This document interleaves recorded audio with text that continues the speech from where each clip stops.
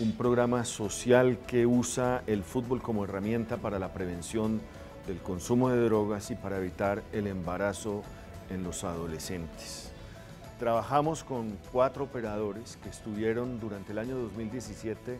en toda la geografía de la ciudad en 19 canchas, operadores como el Club Atlético Boca Juniors de Argentina, la Fundación Real Madrid, el Club Boca, eh, Colombianitos de Ángela Patricia Llanior y Goles por la Paz, una fundación de unos ingleses.